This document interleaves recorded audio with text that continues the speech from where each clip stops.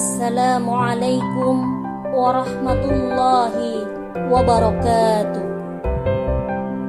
Bismillah, Alhamdulillah, wassalatu wassalamu ala rasulillah wa ala alihi wa sahbihi wa mawala.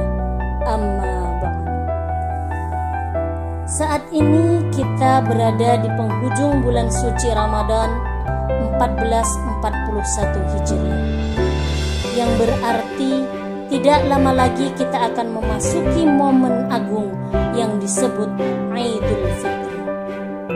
Terkadang muncul pertanyaan, mengapa puncak puasa diakhiri dengan perayaan yang disebut dengan Idul Fitri? Apabila ditelaah, kata Id secara harfiah berarti kembali atau. Konsepsi pulang dalam agama Islam merupakan suatu yang sangat mendasar. Bahkan beberapa ajaran pokok terkait erat dengan makna ini. Sebut saja selain Idul Fitri, hari raya lainnya yang dinyatakan yaitu Idul Adha menggunakan kata Id. Konsep lainnya seperti ucapan suci Inna lillahi wa inna ilaihi raji'un. Pun mengarah pada hakikat pulang pada kata raji'un. Kata taubat, inabah dan sejenisnya. Semuanya merujuk pada makna pulang. Hal ini pada dasarnya menunjukkan bahwa sebenarnya hakikat hidup manusia adalah perjalanan pulang. Baik pulang dalam arti yang sederhana hingga pulang dalam arti hakiki. Dalam arti sederhana dalam hidup sehari-hari di mana kita pun bekerja pasti merindukan untuk pulang ke rumah. Walaupun misalnya fasilitas di tempat kerja lebih nyaman dan lengkap daripada di rumah kita. Seorang anak ketika menangis pun merindukan pulang ke pangkuan ibunya. Seseorang yang menginap di hotel mewah pun pasti merindukan untuk pulang. Begitu juga para saudara kita yang berada di perantauan, menahan rindu untuk dapat pulang berkumpul keluarga yang tidak dapat dilakukan karena cobaan COVID-19 yang melanda. Dari keseluruhan tindakan pulang tersebut, pulang yang paling hakiki adalah keberhasilan seorang hamba untuk dapat pulang kepada Allah Subhanahu wa Ta'ala. Di sinilah makna terdalam dari hakikat Idul Fitri dalam agama kita. Kita selalu diingatkan untuk meresapi hakikat kehidupan yang pada dasarnya adalah keberhasilan pulang kepada Allah Subhanahu wa taala.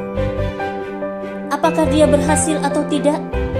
Itu semua tergantung dari masing-masing pribadi dalam menangkap makna agama. Orang yang tidak berhasil untuk pulang dalam bahasa agama disebut tersesat atau zolun.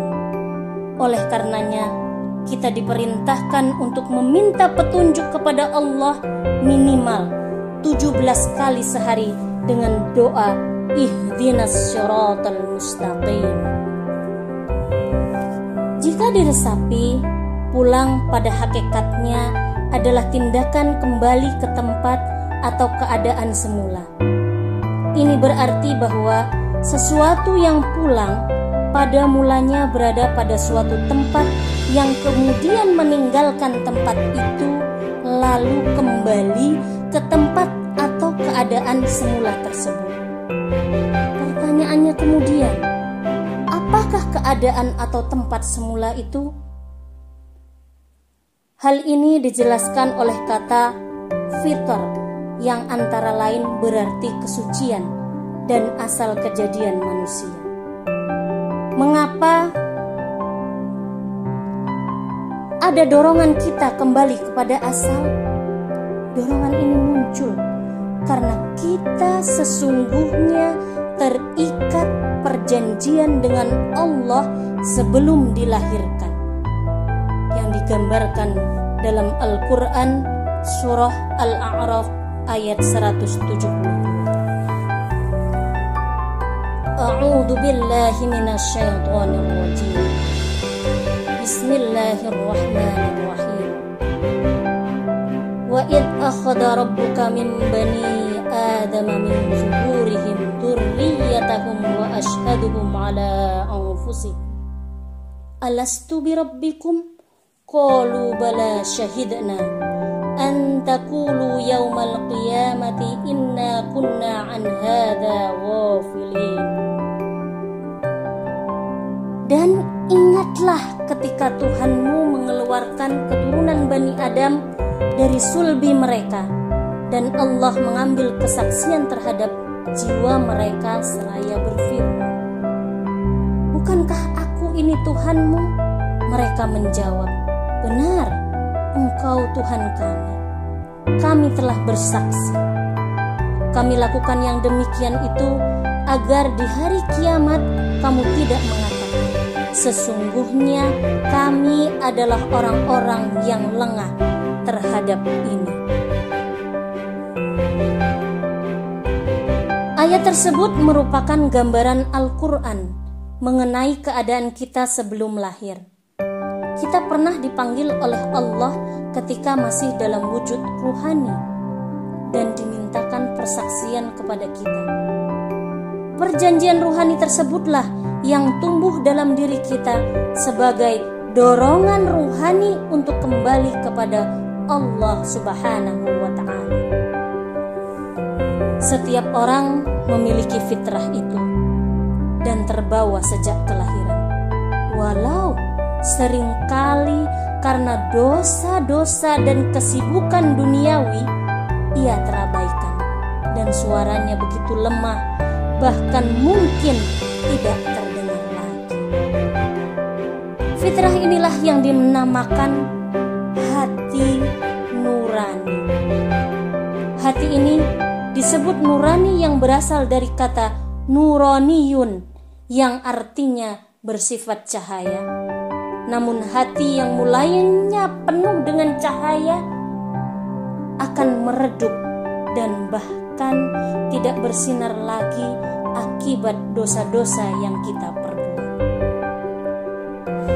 Dalam bahasa Al-Quran, dosa disebut zulmun dan orang yang berbuat dosa sebagai zolim. Zulmun artinya gelap karena kejahatan meninggalkan bercak-bercak hitam dalam hati yang mulanya bercahaya. Cahayanya meredup, bahkan tidak bersinar lagi, maka hati tidak dapat disebut lagi dengan nurani. Dan ini merupakan kesengsaraan. Na'udzubillah min dhalik.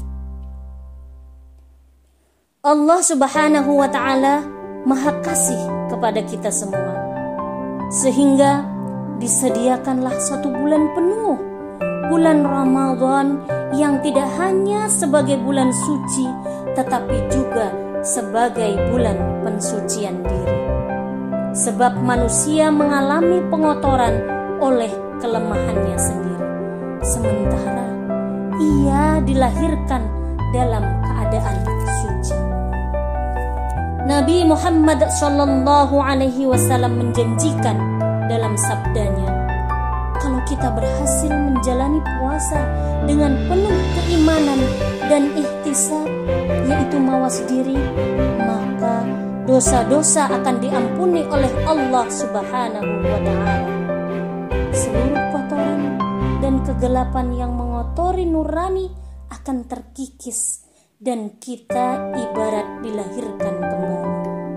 Semoga di seluruh di 10 hari terakhir bulan Ramadan ini kita semakin dapat secara penuh membersihkan diri dan hati kita, sehingga kita semua dapat menjadi bagian orang-orang yang berhasil pulang kepada kesucian.